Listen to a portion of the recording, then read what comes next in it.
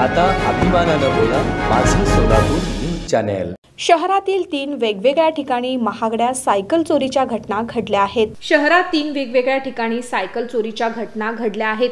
पहिली घटना जुळे सोलापुरातील कोणार्क नगरात घडली असून फिर्यादी तुषार चंद्रकांत मेत्रे यांच्या घरासमोर लावलेली दहा हजार रुपये किमतीची निळ्या रंगाची ऑक्सी कंपनीची सायकल अज्ञात चोरट्यानं चोरून नेली आहे.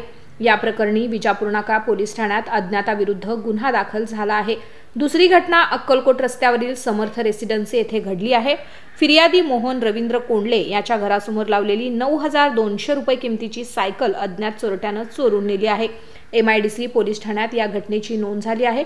तिसरी घटना लिटिल फ्लॉवर स्कूलच्या पार्किंगमधून सहा हजार दोनशे रुपये किमतीची सायकल अज्ञात चोरट्यानं चोरून नेली आहे.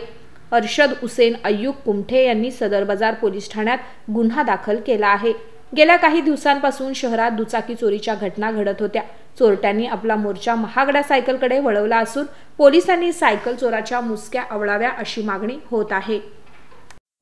माझं सोलापूर न्यूज चॅनेल लाईक करा शेअर करा आणि सबस्क्राईब करायला विसरू नका. माझं सोलापूर न्यूज चॅनेल.